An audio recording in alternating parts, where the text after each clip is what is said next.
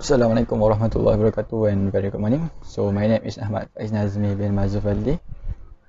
My matric number is 72059 and today I'm going to use slides and 8 for my presentation. So today I'm going to talk about gender inequality in terms of a gender pay gaps. So what is the definition of gender pay gaps? So gender pay gap basically means that there exists an average difference between the wage for men and women who are working and women are generally considered to be paid less than men. So also in this presentation, I've included a graph, a graph which shows gender pay gaps over times. And also this research suggested this from 2060s to 2020s. And also in this graph, there are two kinds of data which are being presented here, which is one is an uncontrolled and second one is controlled. So you might ask yourself why this is very important, why they have to be two kind of data. So what basically means is that the uncontrolled is actually the median salary for all men and women regardless of their job type and worker seniority. So some researchers suggest that this is a biased kind of data because there's uh, basically a lot more of women working out there. So more uh, more men are working out there. So basically men are at a higher level, hence they earn more. So because of that, we have come up with a new it is a controlled data types so but in the control type, in the control uh, pay gap, we are comparing a woman who is doing the same job with the same exact qualification as men, but still they are being paid 2% less for no attributable reason. So in these cases, it's clearly shown and proven that this uh, pay gap actually exists. For the next one, I would like to help you to visualize how much it is uh, the pay gap.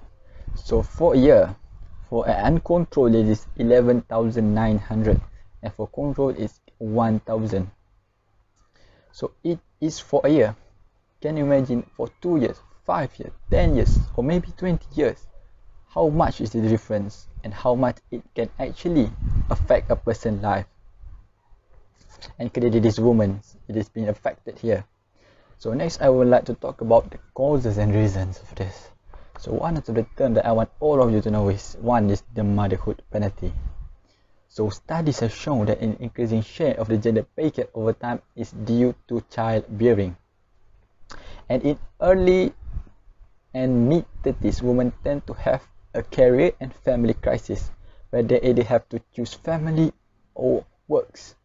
And what basically make it worse is that some employers tend to not hire women that have children by using reason that having the child will disturb and make the woman less productive, especially in the higher level.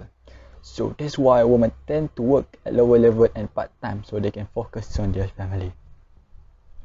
So next is, before I move on to the next point, I would like to ask you what's come to your mind first when I say nurses and engineers? Yes, some of you might say that nurses are female and engineers are male. So that is why it's called gender norms or what media portray ideas of gender specific roles of which gender stereotypes are born. And what makes it uh, easy is male dominated industry tend to have higher wages than industry and occupation made up mostly of female workers. In the example I gave before, male nurses tend to have the same wages as female nurses while in the engineer female engineers tend to have uh, to get less than male engineers. So this is what kind of things that factor for the pay gaps. And also and for the solution, I think one of the solution is called mentoring. So why mentoring is very important is some women tend to not know that they are being paid less. So one of the solution here is to share salary information especially for men and women who are in a family. So other than that is by dividing labor at home. So by dividing labor at home for the husband and the wife so that woman can focus on their career more so it will help. And one of the last thing and the biggest thing is that women tend to choose career that is less paid. So mentoring is very helpful in this condition Before I end the presentation, I would like to talk about the outbreak of the novel coronavirus that is occurring. So it will surely impact the economic growth and what make it worse is most of the women are located at the lower of the economic level. So can you imagine what will happen, especially to the single mothers out there?